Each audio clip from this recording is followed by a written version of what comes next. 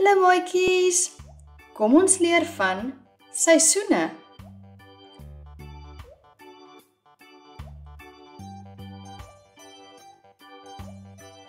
Daar is 4 seisoene. Somer wanneer dit lekker warm is. Dan na die somer raak dit herfs wanneer dit 'n klein bietjie koeler raak. En na herfs kry ons winter wanneer dit sommer yskoud is. En as die winter verby is, dan raak dit lente wanneer dit weer 'n klein bietjie warmer raak.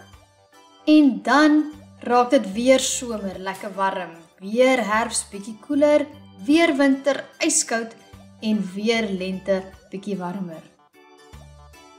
Kom ons kyk gou na elke seisoen op sy eie. Nou die somer is 'n baie lekker seisoen. Dit is lekker warm in die somer. Ons kan buite speel. Ons weet sommer dit gaan nie reën nie. Ons kan lekker see toe gaan. Ons kan draairoomys eet en koue koeldrank drink om af te koel. Die somer is 'n baie lekker seisoen. Kom ons loer gou, watse klere sal jy aantrek in die somer? Nou omdat dit lekker warm is, sal die seentjies gewoonlik verkies om 'n T-hempie en 'n kortbroekie aan te trek. Ons loop sommer kaalvoet in die somer, maar as jy bang is dat jou voete brand op die teerpad, dan kan jy sandale aantrek, want sandale is lekker oop skoene en dit hou jou voetjies lekker koel. Cool. En dan moet ons ook baie versigtig wees dat die son nie ons vel brand nie, veral ons gesiggies, nê? So ons sit 'n hoed op ons kop om ons gesiggies te beskerm. En onthou as mamma sê smeer sonbrandmiddel aan, dan smeer jy dit aan want jy wil nie bloedrooi seer brand nie, nê. Nou dogtertjies sal ook kortbroekies en T-hempies dra, maar party dogtertjies hou ook van rokkies. En hulle loop ook sommer kaalvoet, maar as hulle bang is hulle voetjies brand, dan trek hulle ook sandale aan. Dogtertjies sal ook 'n sonhoed dra En partykeer as die son baie skerp skyn of selfs by die see as die sand so spierwit lê, dan voel dit mos vir ons ons kan nie ons oogies heeltemal oopmaak nie want dit voel vir ons die son is baie skerp. Dan kan 'n mens 'n sonbril opsit. Nou kom ons kyk watter seisoen kom na somer. Na somer kom herfs. Nou, die herfs is wanneer dit 'n klein bietjie koeler begin raak. Party bome verloor hulle blare in herfsttyd.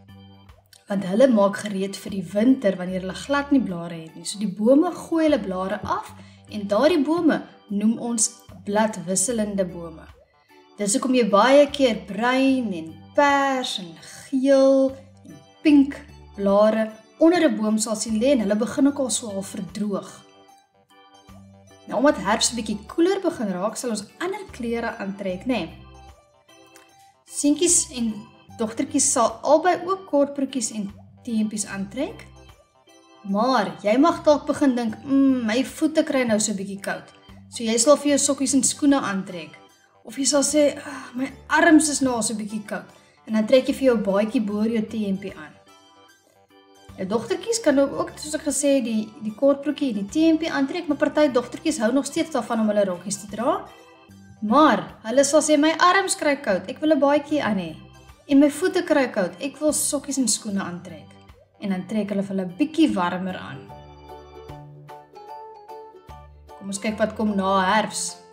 Hoe na herfs is dit die winter. In die winter is dit baie koud. Dit reën. Dis op baie plekke sneeu. In Suid-Afrika het ons nie baie dorpe wat jy sneeu sal kry nie, maar ons sal baie keer sneeu op die berge sien.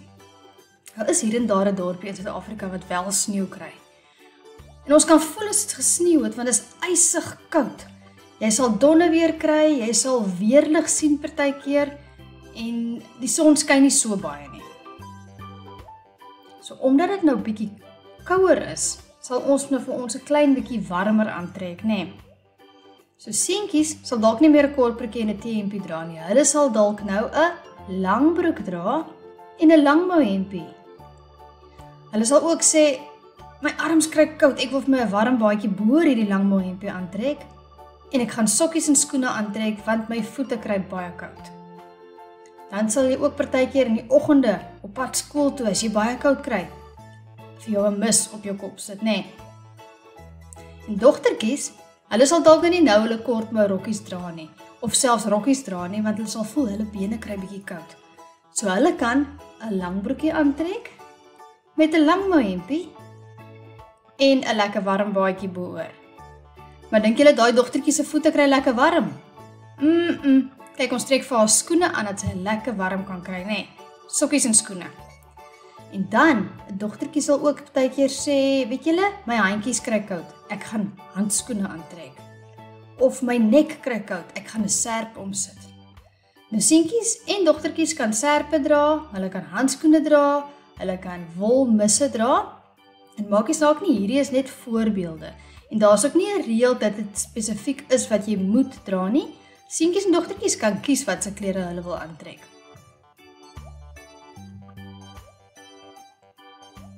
Nou na die winter raak dit lente. Kom ons kyk nou na lente. Julle almal sal weet op die 1 September is dit lentedag. Dan trek almal lekker vrolik aan. Julle bring blommetjies skool toe want die blomme begin nou weer blom en die vlinders of die skoenlappers kom uit en dit begin warmer raak en jy ruik sommer hoe lekker ruik die die blomme in die lug nê. Nou watter klere trek 'n mens in die lente aan? Dit is nog 'n bietjie koud, maar dit begin al 'n bietjie warmer raak. So die seentjie sal sê, mm, "Ek gaan vir my 'n lang broekie aantrek, maar ek gaan hierdie keer vir my net 'n T-hempie by my lang broek aantrek." En dan gaan ek vir my sokkies en skoene aantrek. Die dogtertjie sal miskien nog steeds haar lang broekie dra, maar sy sal ook 'n T-hempie dra. En sy sal sê ek wil sokkies en skoene aantrek. Nou onthou weer, daar's geen reëls nie. Hierdie is net 'n aanduiding van watse klere 'n mens kan dra in die verskillende seisoene. Onthou as jy koud kry, kan jy vir jou warm aantrek en as jy warm kry, dan vra jy vir mamma of pappa of jy jou baadjie kan uittrek. Partykeer gaan mamma en pappa vir jou sê, jy moenie nou jou klere uittrek nie, jy gaan siek word dan moet ons luister vir hulle, nê? Nee.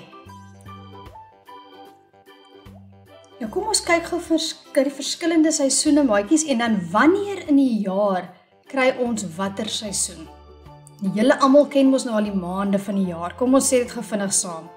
Januarie, Februarie, Maart, April, Mei, Junie, Julie, Augustus, September, Oktober, November en Desember.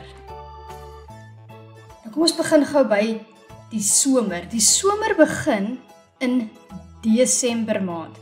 En ons in Suid-Afrika is baie gelukkig. Dis die laaste maand van die jaar en dis ook wanneer ons lekker lang Desember vakansie mos begin, wanneer dit Kersfees raak of ons 'n lekker lang somervakansie by die see kan hê.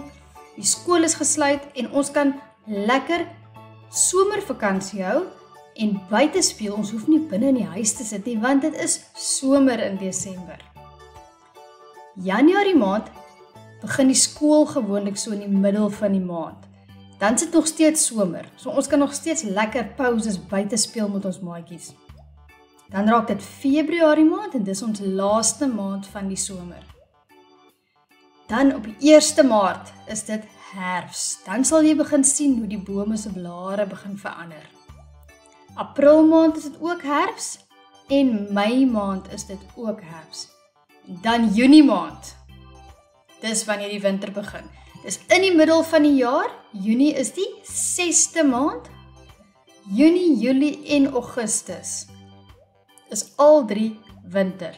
En dis in die middel van die jaar kry ons baie koud. Dan trek ons vir ons warm aan.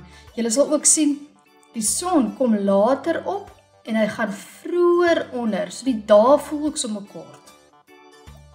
Dan kry ons September, die 1ste September as dit lentedag is. Dan begin ons lente. Dan raak dit Oktober, dis nog steeds lente. En November, nog steeds lente. En dan raak dit weer Desember, somer. En so herhaal die seisoene hulle self elke jaar. Maatjie, wat is jou gunsteling seisoen? Ek kan nie besluit nie. Somer is so lekker warm. Mens kan buite speel, jy kan see toe gaan. Maar die winter is weer so lekker want jy kan onder 'n warm kombers sit, jy kan warm sjokolade drink en 'n kaggel maak.